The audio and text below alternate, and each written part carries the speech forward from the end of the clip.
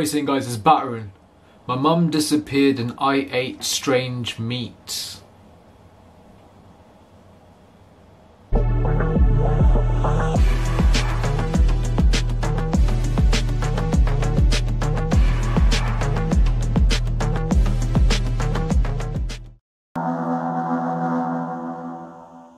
I don't know what to do.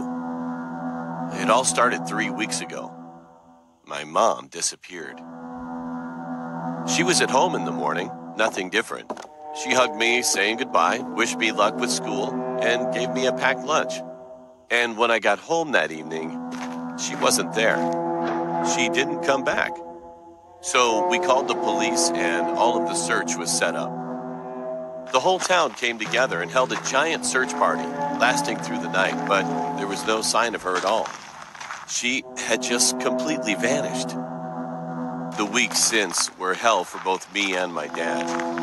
Rumors started spreading through town, and particularly around the school, that my mom had been murdered.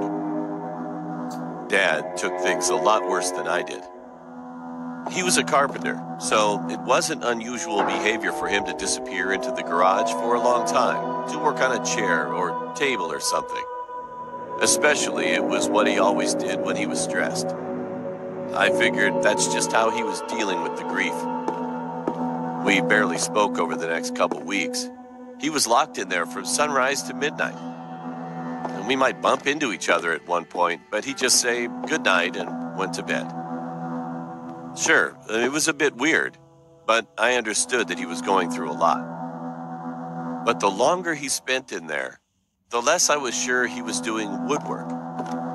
There were large bottles of bleach popping up in our bins, and Dad barely took any break. One night, I had waited for him to go to sleep, and I crept down to try to open the door, but it was locked tight, and Dad always had the key. But today, when I came home from school, he was in the kitchen, freshly shaved, showered, had a rested face. He was totally different from what he'd been for the last couple of weeks. He was cooking. My dad used to love grilling, and his steaks were always amazingly delicious. So it was a nice change, since I fed myself only pot noodles and soup for a few weeks. He set down two of the biggest, bloodiest steaks I had ever seen in my life. But it looked kind of different. Not bad, but just different. Dad tucked into a steak straight away, and I did too.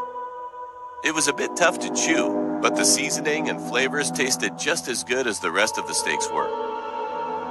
We had finished pretty soon, and I was feeling full and satisfied. Then Dad said something I can't stop thinking about. I doubt they'll ever find her body. His voice didn't sound sad or depressed. I didn't say anything, just stared at him. Hearing what he said sent shivers down my spine. Then I thought of the steaks. The late nights in the garage, hundreds of bleach bottles, and my dad's weird behavior. Did he feed me her body? Or am I just overthinking it? What do I do? That's fucked up, man. Imagine eating your mum's body, your mum's dead body. Imagine eating it without realizing and just thinking it's steak. Can you imagine that? And imagine your dad killing your mom when you're still young. It's crazy. He's going through a traumatic experience, and I don't know why they ended it just like that.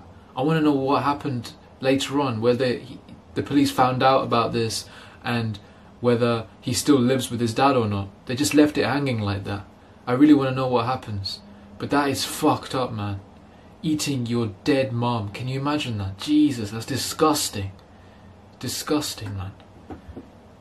Yeah, I feel sorry for that guy. There should be a part two for this video to actually show what he actually does as a result of all these observations that he's noticed from his dad. Obviously, this can't be just a random coincidence, can it? Like bleach bottles to cover up the blood. Um, he's been staying in his room to clean up all the blood on the floor, get rid of the body. For weeks he's been there. And then all of a sudden he's nicely clean shaved and he's in a happy mood. yeah, obviously you'll notice that there's something up straight away. So I want to know what the boy actually does. So they, if they make a part two, at least I'll, I'll know that the boy is safe. Whoever's narrating this isn't.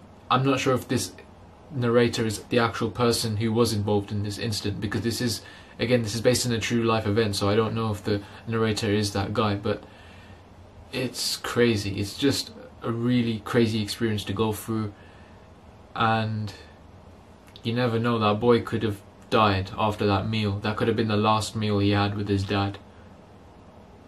Judging by the sound of the dad's tone of voice. Anyways, hope you guys enjoyed. Just really got me thinking about what kind of people, what kind of cannibalists exist in the world that we live in today. And yeah. Here are some more animated horror story reactions if you haven't checked them out. If you're new to my channel, please subscribe, leave a like down below, and I'll catch you guys later. Peace! I took my and made a vid, yeah, that is what I did. And my part-up's more YouTuber making content in the crib. But my pro is not a fib, the haters left to linger. They can't tell me nothing, all they get is middle finger.